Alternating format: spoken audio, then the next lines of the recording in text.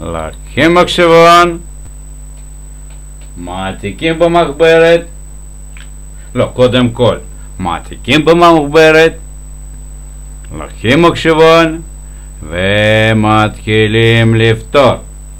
בהצלחה.